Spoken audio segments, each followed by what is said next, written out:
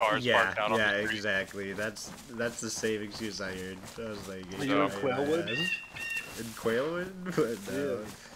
I'm moving to Peoria, dog. I know for a fact they don't give a shit about cars on the road. No, they- oh. yeah, that's even crazier that your mom came up with that excuse, bro. I was like, alright. Yeah. It has to be running. Why? So it's easier for motherfuckers to steal out there? Okay. I guess so. Fuck, I think my Honda's gonna be gone in the first month, man. It Doesn't have locks anymore.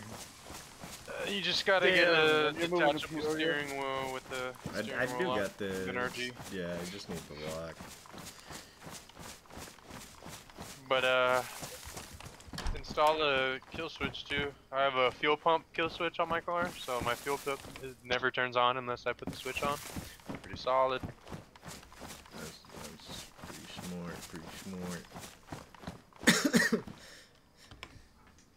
Yeah.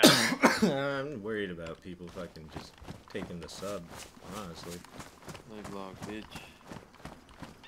They'll probably take. Uh, well, it's gonna be hard to take. They're gonna take the whole car, but it's a Civic. So yeah, they're just gonna pick it up, throw it in the back of their truck, Uh, dude. basically.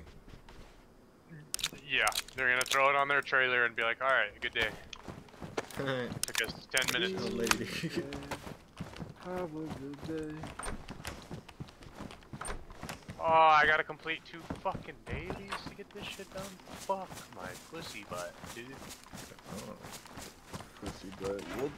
What the fuck? That's what Dr. Phil said.